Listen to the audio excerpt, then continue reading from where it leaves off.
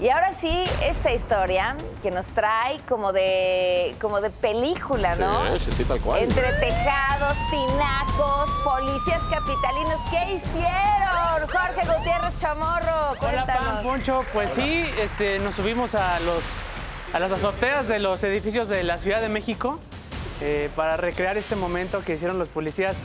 Fue increíble. No, Sí, pues, ¿cómo no? Quiero volver. Oye, y, y- y no me gusta hacer, este, ¿cómo le llaman? Spoiler. Ajá. Pero sí fue una misión cumplida, ¿verdad? Sí, y Ah, si, quieren, bueno. si quieren, le hacemos como cuando hacemos los stands. A ver, A ¿cuál, ver, cuál? Es que tienes muchas. ¿Cuál es la de ahora? La- acá, acá, o ¿cuál? ¿La de acá? Pues la que tú digas. Tú mándala eres- como tú mándala. quieras. Bueno, pues vamos a ver esta historia de los policías que subieron a los techos en el centro histórico y lograron una misión cumplida. Un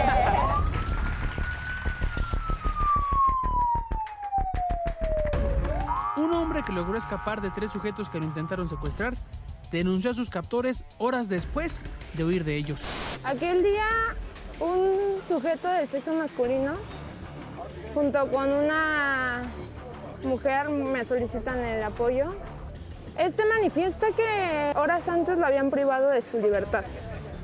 Manifiesta que un día antes le roban su moto del lado de Tepito y que el día lunes por la mañana le marcan, pero querían un rescate monetario por ella.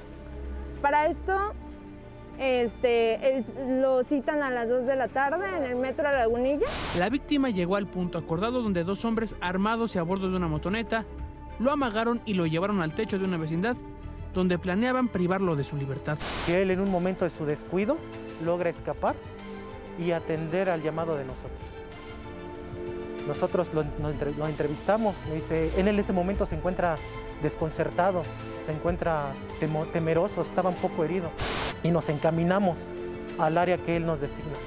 Nos señala que sobre la calle de Perú, casi a la mitad, este, unas personas del sexo masculino lo habían privado, nos dice, son ellos.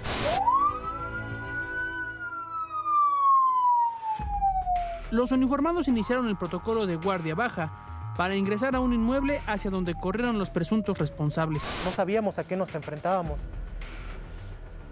Vamos caminando, decimos alto, deténganse, deténganse, vamos bastante preocupados y nerviosos, ya que no sabíamos a qué nos íbamos a enfrentar en ese momento. Vamos siguiendo las escaleras, llegamos hasta la azotea. Uno de los oficiales se quedó en el segundo piso y detuvo a uno de tres sospechosos. En el segundo piso, de segundo nivel, percato que se está moviendo una cobija.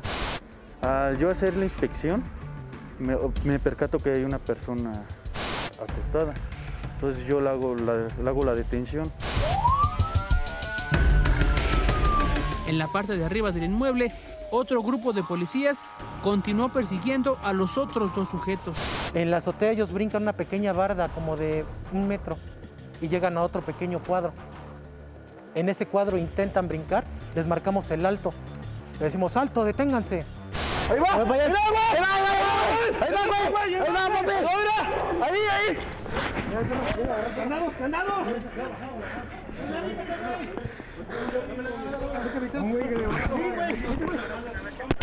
ahí!